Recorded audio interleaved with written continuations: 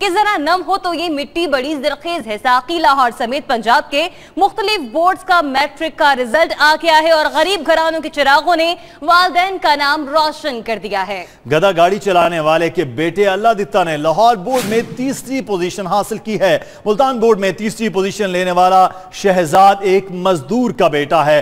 Arts group में तीसरी position लेने वाली समिया दर्जी की बेटी है।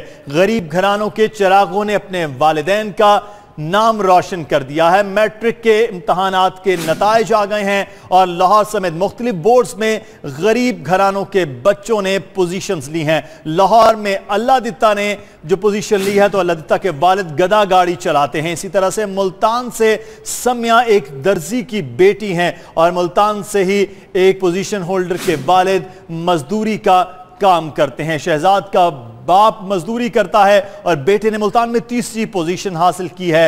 आर्ट्स ग्रुप में पोजीशन हासिल करने वाली समिया एक दर्जी की बेटी है। ईंटें उठाने वाले के बेटे ने बाप का सर फखर से बुलंद कर दिया है। लाहौर बोर्ड समेत पंजाब के मुख्तलिफ़ बोर्ड के मैट्रिक के रिजल्ट्स आ गए हैं और इसके साथ साथ आपको ये बताएँ कि इन मैट्रिक के रिजल्ट्स के अंदर बच्चों ने जो पोजीशंस हासिल की हैं तो गरीब घरानों के बच्चों ने एक बार फिर से मैदान मार लिया है।